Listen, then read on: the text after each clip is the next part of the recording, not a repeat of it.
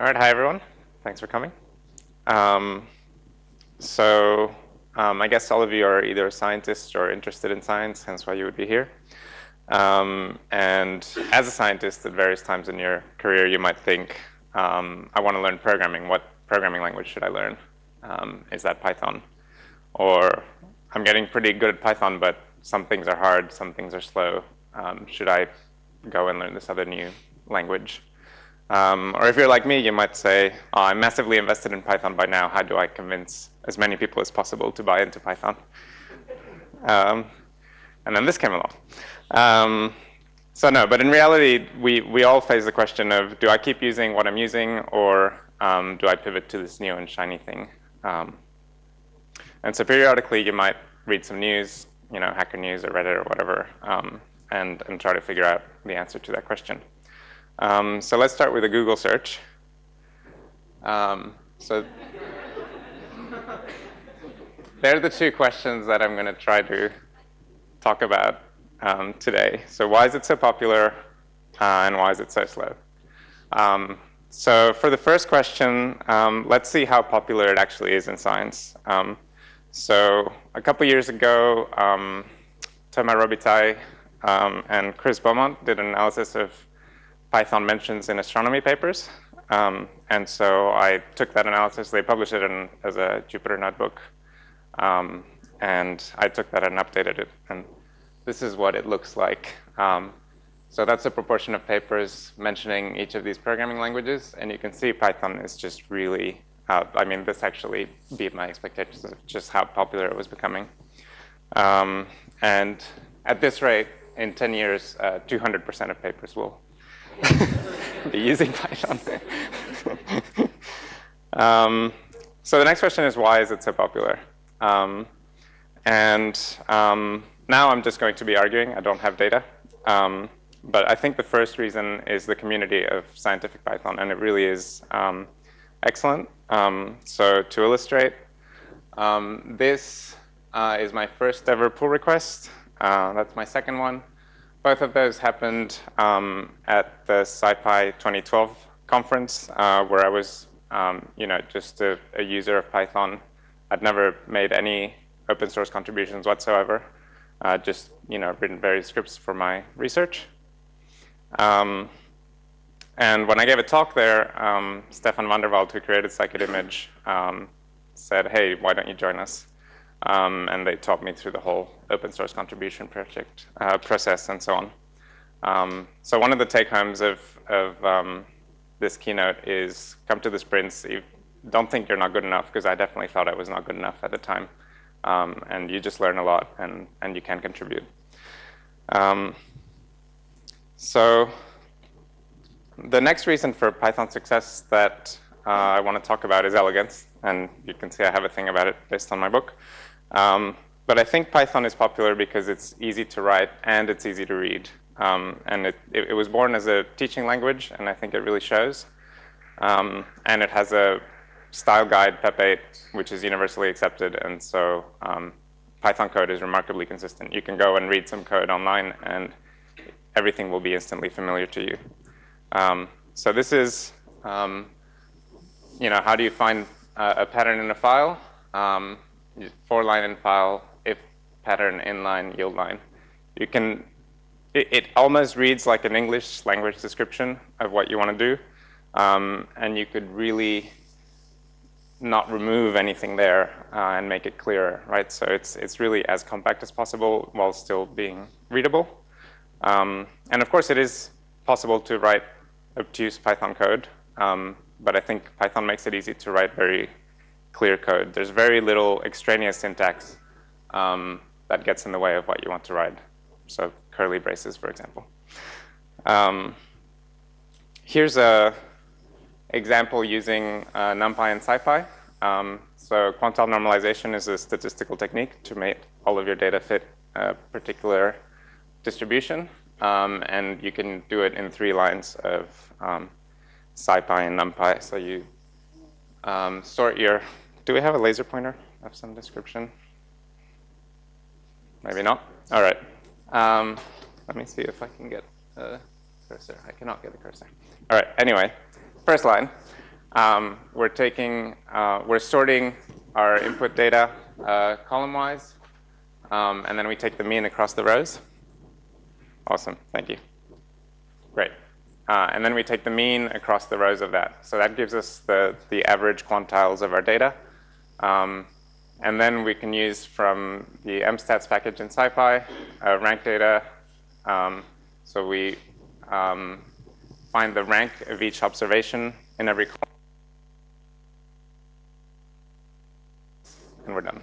Um, so uh, being able to produce code like this that uh, takes up very little space um, and reads clearly um, is a huge advantage in, in debugging and correctness. Um, so NASA, which produces the most bug-free code on Earth, um, has a style guide for, for code. And it's C code, but a lot of the things apply to Python. And one of them is keep uh, your functions within 60 lines of code, something that can fit on a screen. Because if you start to scroll up and down, it's very hard for us to just keep track of, of everything that's going on. Um, so it's really good that Python lets you write concise things like this. Um, so Python by itself is really good. Um, one of the um, design goals is easy things should be, uh, sorry, common things should be easy. Um, and NumPy and SciPy um, are even better, so we'll revisit that as well. Um, but Python is not the only language that can write, you can write elegant code in. Um, so here's an example from R. Um, in large part to um, Hadley Wickham dplyr, you can you get this uh, pipe operator, and that makes writing complex analysis in very few lines of code very easy. Uh, so you can take the flights data, group by the date. We're going to select the um, arrival delays. Um, and then for each of those groups, we're going to summarize them by the median. Um, then we're going to sort it by date. And we're going to add uh, a date and what day of the week. And then we pipe that directly into our plot. Okay? So in just that amount of uh, code. Now I've got um, date versus the um, median delay, and you can get a tremendous amount of information from your data. Um, so uh, one of the things, for example, Christmas is uh, this Tuesday here. Um, so actually flying on Christmas is not a not a bad thing. Uh, flying on the weekends, so Saturday and Sunday, mostly stay below the zero line. Um, so that surprised me. Um, you, you can if you if you want to get on time, you can fly on the weekend. Um, and similarly, these are the the weekdays before the Fourth of July and after. So, um, as I said, it's it's a lot of insight from from very little code. Um, and there's also Haskell. Um, so this is how you define the Fibonacci sequence in Haskell, and this is just the definition of the Fibonacci sequence, uh, and yet it's also valid Haskell code. So that's um, pretty amazing. Um, and this is a little bit uh, of a slow implementation. Uh, that's the, the, fast implementation. So I, I, think it's not just Py Python is not the only game in town when it comes to elegance. Um, so if you want Python to go the distance, you have to offer more than that, right? Um, and so we also have to contend with the second part of the the search, which is why it's so slow. Um, and this is the fact that Google autocompletes with this is actually a huge statement. Although I have to say, uh, a year ago when I tried this, slow was was actually at the top. So that's good. Um, but it's still it's still a big problem, right? So people are are going on the internet and wondering why their Python code isn't fast. Um, there's a website. Oh, that's cut off. Sorry. Um, the slides, I'll put them up on the web so you can get all the references.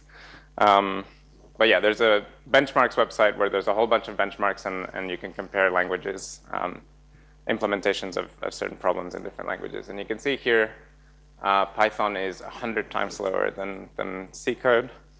Um, and actually, when I ran this on my own laptop, it was 900 times slower than C code. Uh, so maybe depending on the virtual machine that they're running or whatever, uh, the C can't take full advantage of their processors. Um, but yeah, the difference is at least uh, this. Um, and so why is that? Um, so let's look at a statement like a equals 5. Um, so if you did it in C, that's what it would be. You're just making an integer. There's going to be a tiny bit of memory that um, this integer occupies. Um, in Python, this is what an integer object looks like. Um, and you've got a ref count, and you've got a type, and you've got the size of it, and then finally you've got the actual data in there. Um, so every time that you create an integer, you have to initialize this whole big thing, and um, all, of, all of these pointers need to go somewhere. And then every time you're working with that integer, you have to check all of this, and you have to um, modify it. Um, so this is all from a post by Jake VanderPlas um, that he did in 2014, um, why Python is slow. And um, yeah, I highly recommend that you read it. It's, it's got a lot of insight.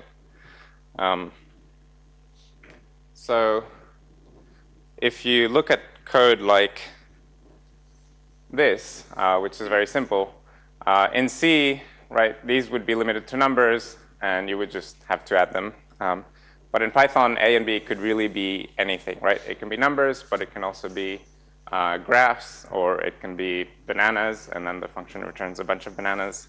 Or it can be a banana and an apple, and then you've got a fruit salad. Um, so it, like Python, you know, every line of code that Python has to execute, it has to check for all these types and, and check that um, all of this can work. Um, so one solution to this uh, for numeric computation, as probably most of you know, is uh, NumPy and SciPy. Um, so in Python, again, this could be fruit and you get a fruit salad, or this could be soldiers and you get a battalion. Um, but NumPy can make use of the data type in my array to just sum numbers uh, in C and, and be very fast. Um, so NumPy can switch to C functions that are um, what people say close to the metal, which means it's really um, processor uh, instructions. Um, so again, a quantile normalization that we saw earlier, uh, this is actually a very fast uh, way to compute this. Um, another example, this is um, using SciPy sparse matrices. So each of these uh, capitalized variables is a matrix. Um, and um, you can make different matrices uh, based on the row sums of things. Um, here's a degree, inverse degree matrix um, using this uh, sparse construct from SciPy. Um, and then you can do matrix arithmetic. Uh, in Python 3.5, you've got matrix multiplication operator. That's uh, one big reason to switch to Python 3.5 if you work in science. Um, and that, yeah, then you call get the eigenvectors, um, and then you do this uh, matrix multiplication, and now you've got um, spectral coordinates uh, to plot your, your graph nodes uh, in such a way as to minimize the total distance of your edges. Um, so that's, that's a pretty neat little piece of linear algebra that you can do with, with NumPy and SciPy, and it's, it's very fast. I think it's close to as fast as you can do it.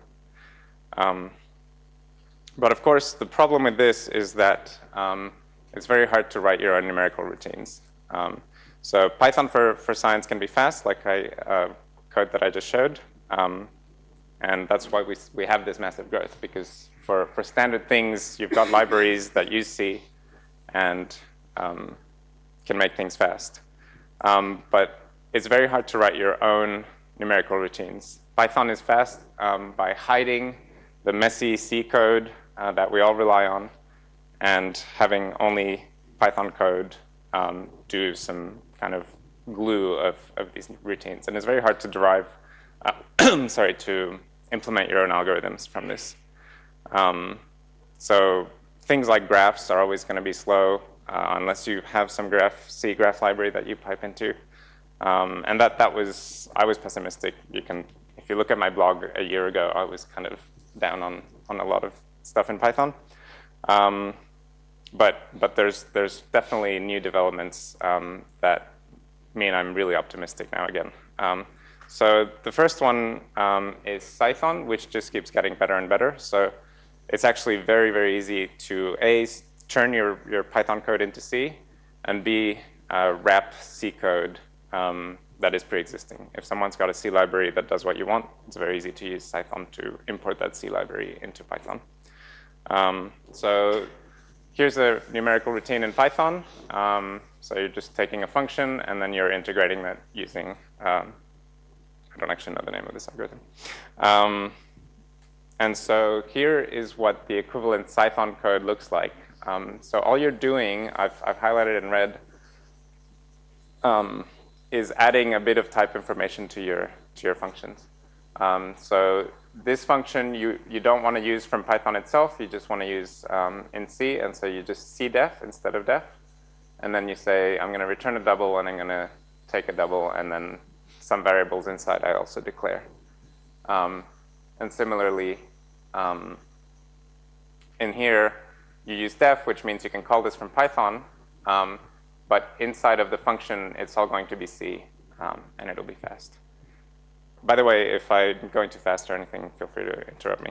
Um, OK, so this is really great. And you can also call in, you can import, instead of include, you use import, like you would in, um, sorry, you would use C import, and then you import a C library. And, and Cython does all of the um, type conversion for you. So it'll take collections and turn them into lists. It'll take uh, arrays and turn them into lists and so on. Um, the only problem with Cython is that it, it, it is a bit harder to develop in um, because now you've got two compilation steps. There's this gets turned into C, and then the C has to be compiled, and you lose quite a bit of the niceness of Python. Um, so is it hopeless? Um, well, it's not. So I, I, said this is actually what um, an integer looks like in, in CPython code. Um, but actually, there is literally nothing in the Python language specification that says that this is how it has to be implemented, right? This is just an implementation detail of how Python um, was historically developed. Um, and you, many of you might have heard of Julia, uh, which is a language that looks a lot like Python. So this is a, a Julia uh, program um, to solve quadratic equations. And um, except for these ugly ends that I despise, um, it's, it's, it looks very much like Python. And yet Julia is very performant. Um, it, it, it's very fast. Um, and how does it achieve that? Um, it uses something called just-in-time compilation. so I'm going to use a function to illustrate what that is. And by the way, I'm like a total amateur at, at this, and I, I don't understand any details of it. But, but on a high level, um, what's happening is you've got this Python function. And uh, as I said, Python doesn't know what the types of A and B are. Uh, so it doesn't know what to do. Every time that it calls a function, you have to check the types of the arguments and so on. Um, do some, some hard work, basically, to, to make sure that, that you're doing same things here. Um, but with just-in-time compilation, you're actually looking at the code as it executes. And you, you know, normally you're just going to call this with two float, arrays of floats. And so all, the compiler just needs to know, all right, I've called it with two arrays of floats. OK, when, when these are two arrays of floats, this is going to be an integer. This is going to be a float because it gets added to a float down here. Um, and this is just going to be an iteration. And finally, we're going to take the square root of that and return another float. So if you introspect the code as it's executing, um, you can then produce a function that looks like the Cython function that I talk, uh, told you about before. Um, and um, yeah, has information about the types and runs very quickly. And so you put that aside and, um, and you make a note of it. And the next time that you get call this function on two arrays of floats, you're like, ah, I've got this function that I've compiled that's super fast. I'm going to use that instead of using the Python code. Except when you call it with two bananas, then it just drops back into the Python code. So um, that's, that's a really high-level view of what JITs do. Um, and there's, there's quite a few examples. So you might have heard of PyPy. Um, there's also Numba and Piston. Um, and um, yeah, so, so that's what you're doing. So if we go back to uh, this function uh, that I did before, um, I tried this yesterday, and all I do is import numba, add numba.jit, and numba.jit. This is actually um, 600 times faster than this. Um, so very little effort. Um, all you need to do is make sure that all of your um, values are numerical or numerical arrays, and Numba just, yeah, can be a, a miracle worker. Um, so the question is, are we done? Um, and the answer is no. Um, so, so two years ago, I tried Numba, and I couldn't get it to do what I did, what I wanted, and even now, it's still a bit fiddly because um, sometimes no Python means okay, if you can't JIT this, then then give me an exception, um, and it'll fail, and you won't really understand why it's failing. Um, so, so it's still hard to a bit hard to work with. Um, and there's also a little bit of a um, I don't want to say dirty secret, but it is. uh, it's not well known. So, so Numba can, can take this uh, np.square root call and, and work with it. Uh, but in general, C functions, things that are developed in C, uh, just-in-time compilers can't touch because it's just this black box binary that, that you know, takes an input and produces an output. Um, and so all of the JITs don't actually work with the NumPy compiled C functions. Um, and even though Numba does, whenever you have an np dot something call, Numba will just work with it.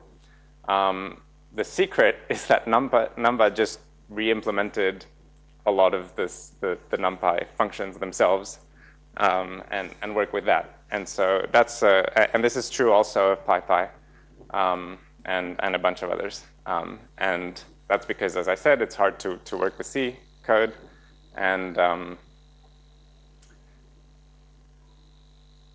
yeah, and, and so they, they re-implemented. It's a bad thing because now if NumPy evolves, then they're out of step. Um, so that there's, a, for example, if you have numpy.sum, you can pass it an axis argument. Um, if you do that inside Numba, Numba will fail. Um, so, and that's because they have their own, their own implementation of things. Numba also doesn't have uh, numpy.argsort, for example. Um, so this is really not a good state of affairs. Um, and, but what's the solution? Um, and so you can go back to this 2012 blog post, which is not going to appear, but again, my, I'll put my notes uh, on Twitter. Um, it's by Jake VanderPlas, um, and it's in 2012, which is remarkably uh, prescient, but um, he talks about the future. He, he, talks kind of the way I'm talking about it, and he, it's called Why Python is the Last Language You'll Ever Need to Learn. Um, so one of the things that you might not know about NumPy is that it didn't just happen. Um, there were two competing array libraries um, in the early 2000s, NumArray uh, and Numeric. Um, and, and they were kind of stepping on each other's toes, and, and the community was split. Um, and Travis Oliphant came and basically produced NumPy, which took um, all of the best code from both of those libraries and coordinated the community effort to have everyone migrate to NumPy. Um, and now NumPy, of course, uh, underpins all of scientific computing in Python. Um, so, so that was just a fantastic effort. Um, and so Jake argues that this is going to happen with just-in-time compilation as well. Um, and now, four years later, um, I think we're really starting to see this happen. Um, so uh, he said there will be another Travis Oliphant, who is uh, the person who unified NumPy. Um, and so maybe that person could be uh, Nathaniel Smith, who is a core developer of NumPy.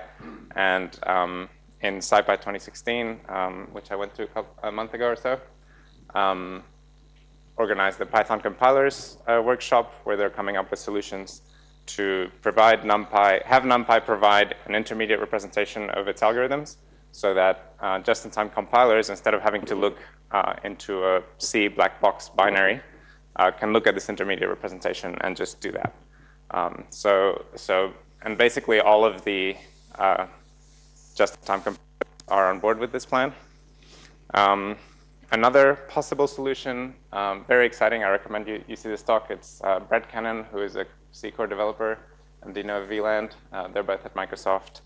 Um, and they've developed this thing called Pyjion, which is another, yet another just-in-time compiler, um, but it's actually very different in spirit to the others. Um, and the reason is very different is that in addition to the just-in-time compiler that they've produced, um, they've produced a plugging plug-in system for um, CPython, so the main Python implementation, that would allow people to very easily um, provide just-in-time compilers. Um, and this might make it into the, the CPython spec. So then what that could trigger is lots and lots of just-in-time compilers competing with each other for speed, kind of an arms race. Um, and you're going to end up with A, a system that can use any of these very, um, and B, all of these improving very quickly. Um, and demonstrating the flexibility of their system, they actually uh, were able to just the way Pyjion works uh, is, is quite different from um, Numba, and uh, they got 100% compatibility with NumPy uh, straight away. Um, so that's that's pretty amazing. Uh, unfortunately, currently you can only run Pyjion on, on Windows, but that's not by design, but just because they work at Microsoft and that's how they've developed it. But there's nothing about this um, that is Windows only, um, and they, they address that in the, in the talk. Um, so yeah, th this is, this is definitely a cause for, for optimism, I think. Um, so I've got these three take-homes about Python, um, Python in science. The first one is the community. Uh, so definitely, uh, one of the things that I didn't say is um, with Numba, uh, some of the work that I was doing uh, preparing for this talk, um, I couldn't really quite get it to speed things up. Um, I wrote to the mailing list uh, less than a day. Um, I had a response back that, that, basically solved all the problems. So the community in SciPy is really fantastic. If you're having trouble, uh, go to the mailing list. Um, people will help you out. Um, definitely come to the sprints. Uh, I'm going to be around on Monday. Uh, not sure what I'm probably working on some Numba porting. Um, um, and yeah, happy to help out. Um, then yeah, elegance, as I said, you can, you can really write good code. Um, small plug for my book, but um, yeah, there's, there's just a lot of amazing code uh, and amazing analysis you can do with just SciPy um, and combining all of the different functions in SciPy. Uh, and performance, as I said, um, it's only getting better. Um, and there's lots and lots of really smart people working to make your Python code faster. Um, so with very little work from you, suddenly like all of Python is going to become much faster. And I think that's amazing. Um, and as a bonus, I'm just going to plug Python 3.5. just, it's ready. Switch to it. It's really nice. Um, and uh, especially for scientific computing, uh, now with the at um, matrix multiplication operator, it just makes things so much nicer. Um, and with that, I'll open for questions.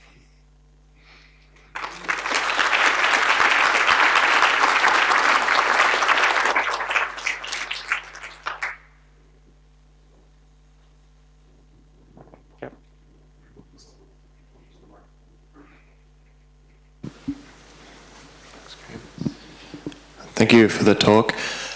Uh, I wasn't familiar with R having that piping operator, but it seems like a very cool idea. In Python, this is just a syntactic question almost. It seems you either have to go with massive chains of intermediate variables or monster nested expressions. Is there any advice you have for like big data flows like that? Uh, I have a, a talk uh, at last year's EuroSciPy about toolz, tools with a Z. Uh, it is an awesome library that provides just that.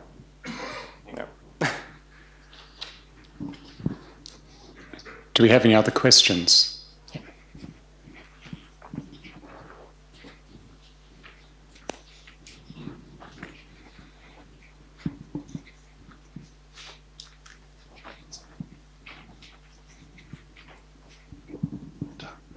Thanks. so thanks, uh, Juan. That was a great talk.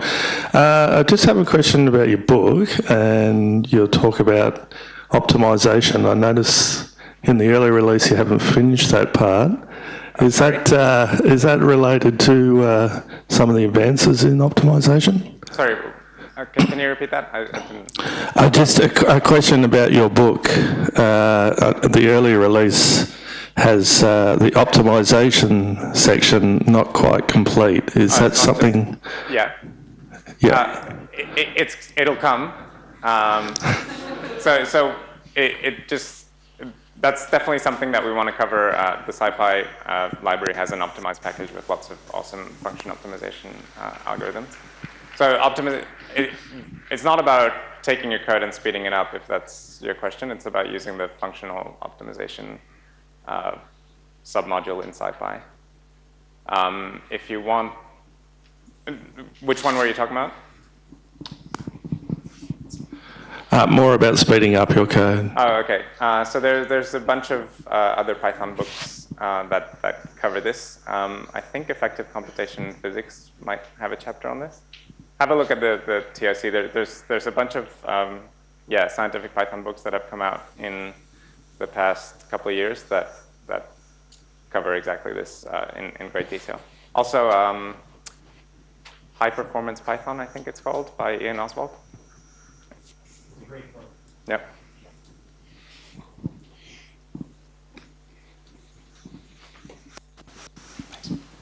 Hi. So I've- become delightfully and happily spoiled by the, the friendliness of Python. I love the IPython REPL and PDB and largely readable stack traces with exceptions and all that sort of stuff. If I was to head off into the wonderful world of, of this sort of embedded C code and even the C defing functions that you that you demonstrated, do I lose out on much of that? Do I get to keep the beautiful IPython REPL PDB, or it, do I start looking at segmentation faults instead? Uh, so Cython by default uh, will not give you a segmentation fault. It has bounds checks and all of these nice things and exception throwing. But you can turn those off if you know that this is a super solid piece of code and you, yeah. and get a little bit more performance. So Yes. Uh, I, for, for the JITs, I, I have no idea. Sorry. Yeah. Thanks.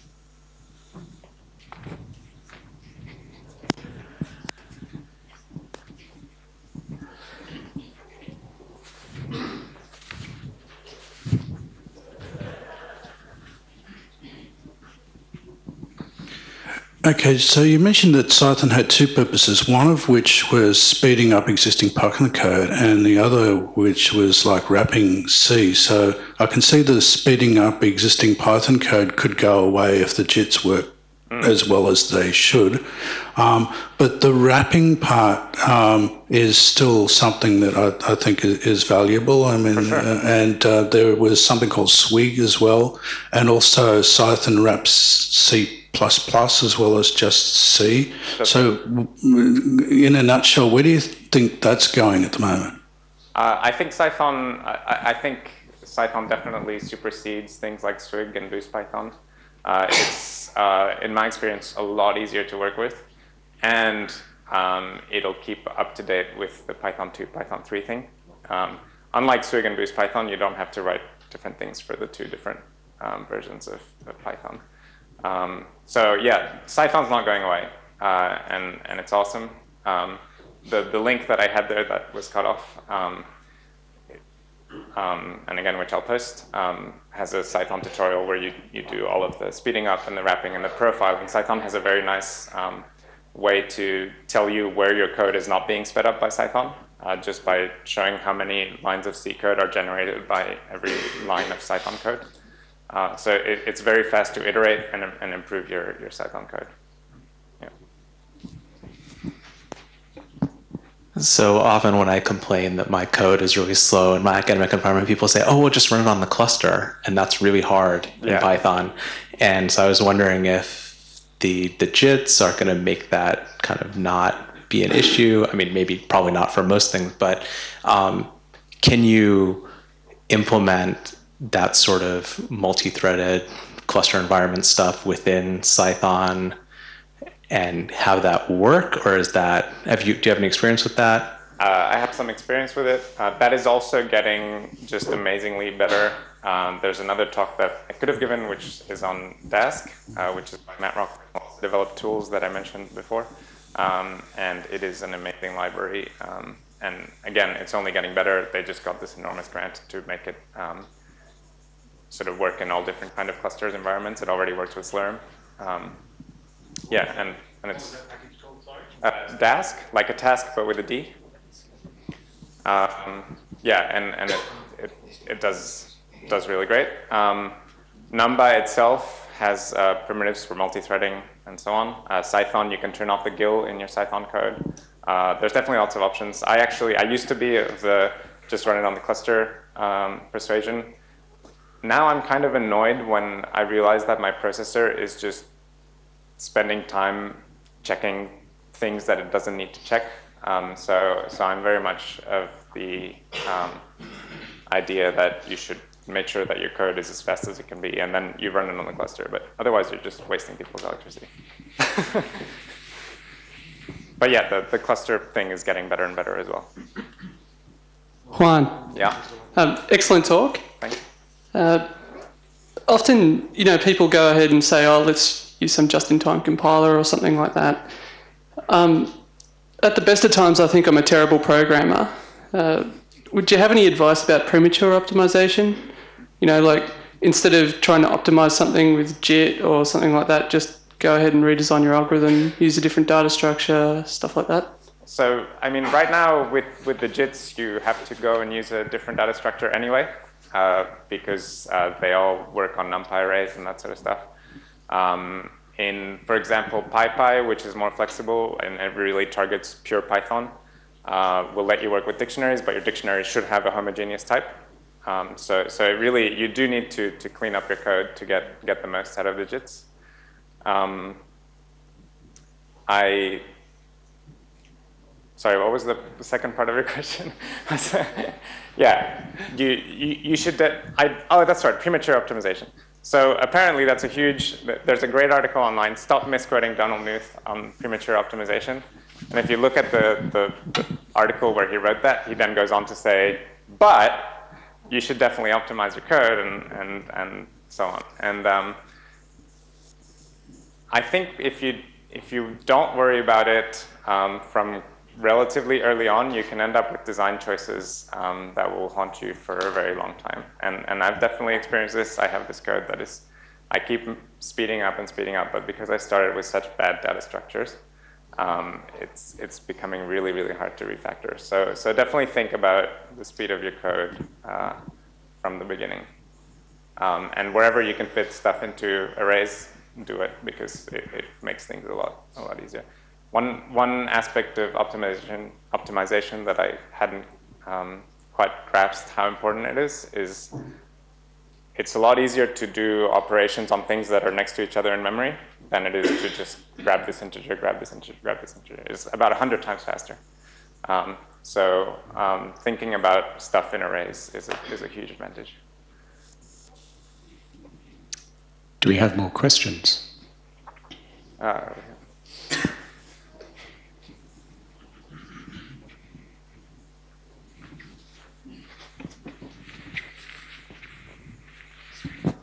Uh, thanks for a great talk. Uh, just while I think of it, um, I've got a feeling there might be a talk on Dasks given by someone else at the conference, just from memory. I hope I'm not wrong there. It was last year. I'm not sure about this. Okay. Um,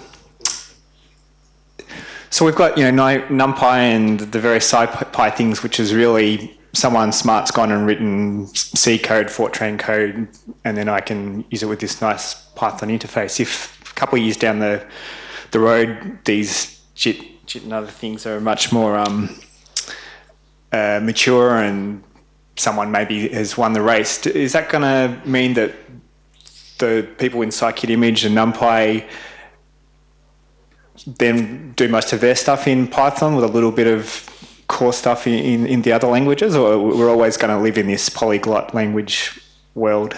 Um, I think abandoning Python and C uh, is going to take a very long time um, because uh, backwards compatibility as well is very, very important um, for library developers. So you want to keep uh, supporting things like Python 2.7 and, and, that sort of stuff. Um, so I think that'll that'll last a long time. I don't think it's a problem. Uh, we're definitely at Scikit-Image at least. Uh, you know, we're always exploring all of these JIT options and whatever. But for example, we Numba, unless you're doing Anaconda, uh, it's quite tricky to install. Uh, so in Scikit-Image, uh, definitely in scikit-learn, we won't take on dependencies that will require compilation by the user. Um, so Numba now only recently got the ability to precompile your uh, functions, and then you ship kind of like a C binary um, with, with your package. Um, so that's the sort of solutions that we would look at um, in, in Scikit-Image in the, in the near term. In the, in the long term, maybe let's say Python 4, 10 years, um, it could be that everything will be written in Python and, and super quick. Don't know yet.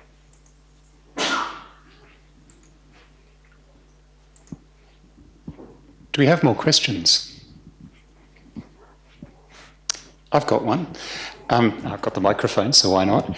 Um, when we look at the JITs and a number of the other Python implementations, one of the ways that they achieve their speed up is by actually defining types. If we have a look at what the Python or the CPython community is doing is they're moving towards type annotations, and there was a PEP this week co-authored by Guido, of actually more explicitly structuring those type annotations in CPython. Th- There are quite different ways of doing that. Do you think that the community will end up being forced to adopt the CPython approach for type annotations, or we'll see this ongoing fragmentation with different tools doing it different ways, and people just having to wear the cognitive overload of different tools different ways? Um, my hope is that the community will um, make use of the, the CPython type annotations. Um, I think it makes a lot of sense. Uh, they're optional, but um, they're also optional for JITs. Um, and so, um, yeah, why not? Why not use them? I, th- I think they're it's a nice syntax um, and it's very flexible framework. Uh, so, I would I would say if if it were up to me, we would we would eventually coalesce onto onto one thing. I don't I don't know if Cython can do that, um, but definitely for the JITs, I think it's it's a strong possibility. Okay. Any other questions?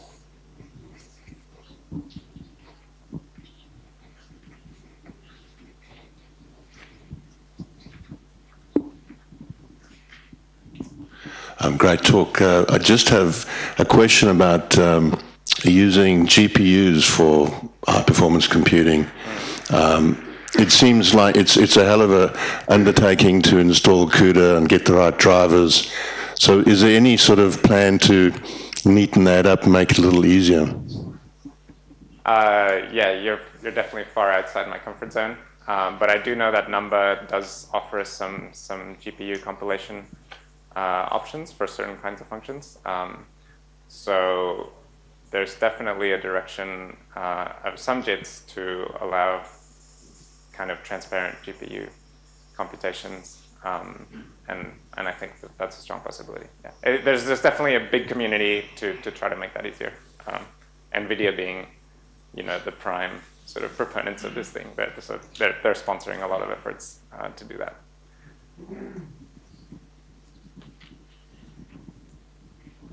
Unless there's any burning, oh, we have a burning question.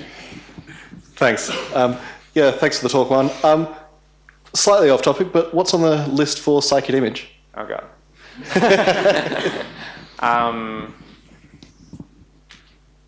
I think we're kind of nearing a 1.0, which would mean um, cleaning up a lot of the inconsistencies, you know, that creep up uh, through historical, um, you know, for historical reasons. Um, and the next thing actually does include things like uh, just-in-time and, and GPU, and, and basically offering a, a lot higher performance. Um, everyone in the Scikit Image team, I don't know about everyone, but a lot of people in the Scikit Image team used to feel like whatever it's, it's C, it's fast enough. Um, but now it's actually become apparent that there's a lot of inefficiencies there where um, so I just I just cleaned up Hessian filters um, a, a month or two ago, um, and it was a very naive implementation, and with very little effort, we got um, I think it was 17-fold speed up. Um, so I think there's a lot of lo- low-hanging fruit like that, uh, where we want to make Scikit Image really the go-to for for image analysis. Can we have a big show of thanks to Juan for the keynote and for all of the Q&A?